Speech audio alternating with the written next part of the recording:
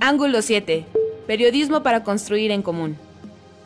que hemos denunciado de eh, el, el patrimonio de Miguel Barbosa, el candidato de Morena, que es inconsistente, según una información publicada en Internet, el excesivo gasto en tarjetas de crédito no declaradas en su 3 de 3 de alrededor de 15 millones de pesos, cuando él declara ganar 1.800.000 al año.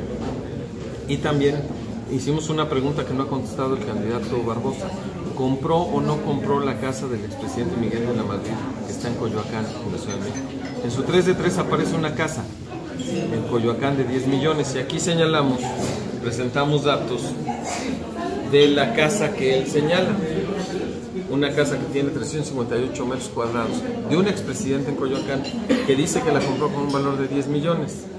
Pero la casa realmente vale en, precio comercial 20 millones de pesos.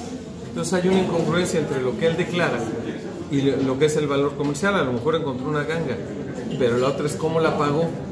Y así es la casa como está actualmente que ya pertenece a, a, Miguel Barbosa y a su familia, está ubicada en la Cerrada Francisco Sosa número 43 y así estaba cuando pertenecía al expresidente Miguel de la Madrid, que por cierto fue un lugar donde además cuando murió el expresidente hace unos años, ahí fue velado.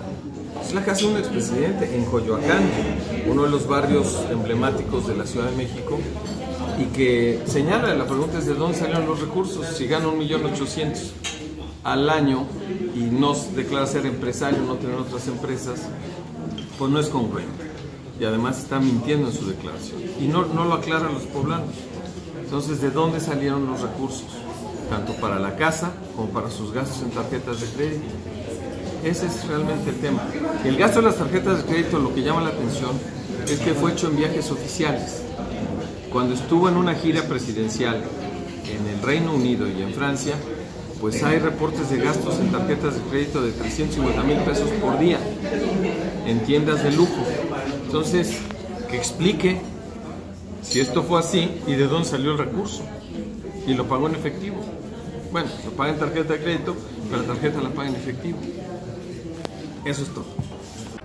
Ángulo 7. Periodismo para construir en común.